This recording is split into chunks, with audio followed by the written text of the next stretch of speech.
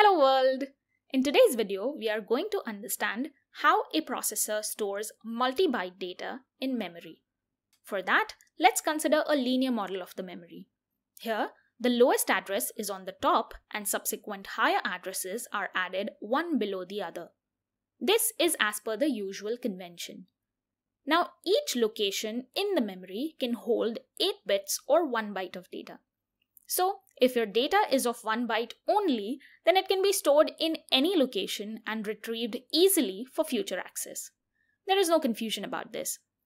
However, consider this example of multi-byte data. So how should we order the bytes in this case such that we are able to retrieve the number correctly every single time as required? First of all, each digit in this number occupies 4 bits or 1 nibble. Thus, two digits form a byte. Here, 1 2 is the most significant byte or MSB and 7 8 is the least significant byte or LSB.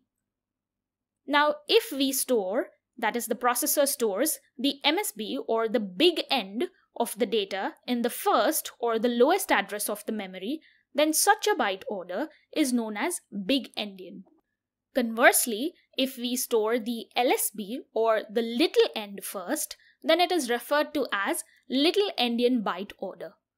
Thus, processors can either be big endian or little endian in their architecture. Now, we don't come across these words, that is, big endian and little endian, in our usual day to day communication.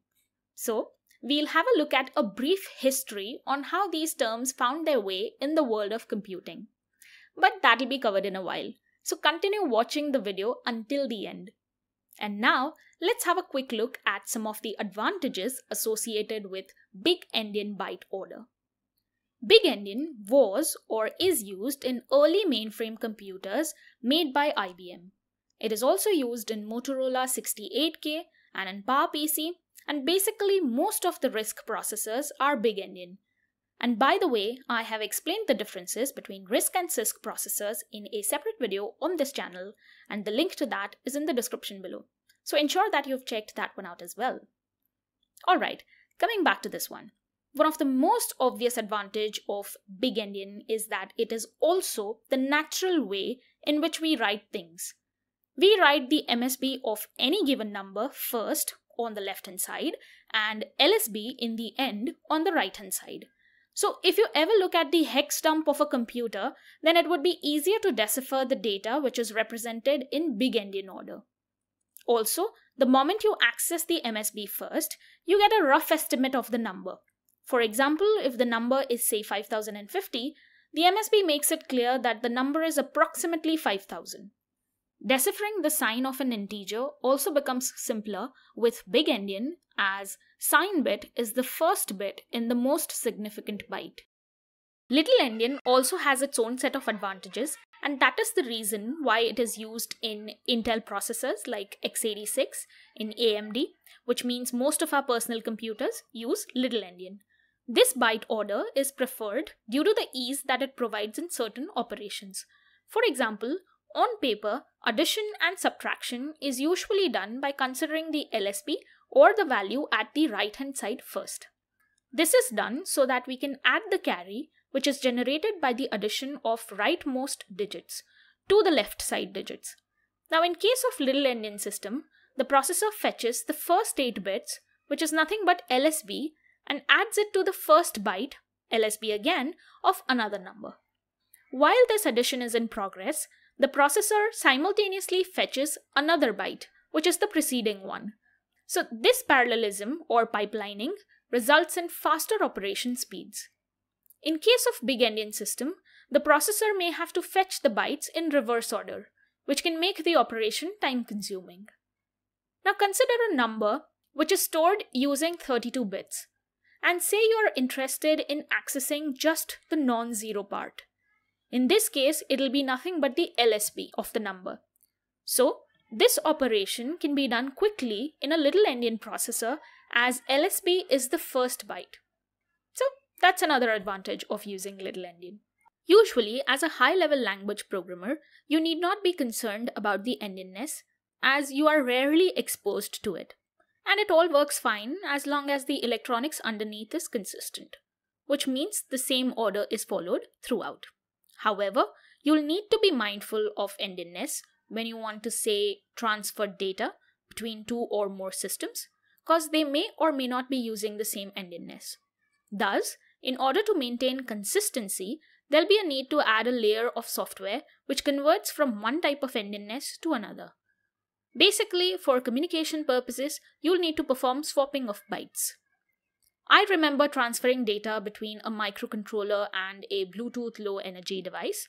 So, most of the Bluetooth low energy firmware utilizes little endian byte order. Thus, if I had to say transfer 1, 2, 3, 4 as a value of characteristic, then in terms of little endian, I had to transfer 3412. So obviously you'll have to write a small function which does the job for you. Now in case of internet, which is a vast network of computers, big endian byte order is used as a standard. Thus, big endian is often known as network byte order as well. So, on the internet, whenever a little endian computer passes the data over the network, it converts it into network byte order.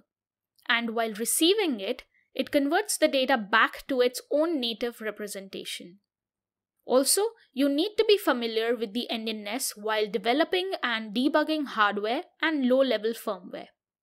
Even different file types use different endianness. Thus, in case of mismatch of byte order of the machine and the file type, the application which is used to view the file must reverse the byte order as per the one that is used in the system. I feel life would have been much easier if there was only one universally accepted way of storing the bytes. That is either big endian or little endian. It would have saved us from a lot of unnecessary and time consuming complications, and we would have got one less thing to study. But semiconductor companies chose the endianness arbitrarily, and till date they follow the same byte order to maintain backward compatibility. Thus, it is unlikely that we'll ever have a standard way of doing things. The only thing that we can provide, say if we are dealing with endianness related tasks, are consistency in our designs and clear documentation to avoid any confusion. Now, before I wind up this video, let's look at the origin of both these words, that is, little endian and big endian. They were first used by Jonathan Swift in his novel titled Gulliver's Travels. Here, a political group that broke their boiled eggs at the big end were known as Big Endians, and they rebelled against a Lilliputian king who made his subjects break their eggs at the little end. And thus, obviously, they were known as Little Endians. Completely meaningless squabble. But from there, these words found their way in an article titled On Holy Wars and a Plea for Peace, which was written by computer scientist Danny Cohen in 1980. And that's how these terms were introduced in the world of computer architecture. So that's it for today. I hope you found the video useful, and if you did, then do drop a like, share the video, and obviously hit the subscribe button for more such amazing content. And with that said, I'll see you in the next one. Bye, world!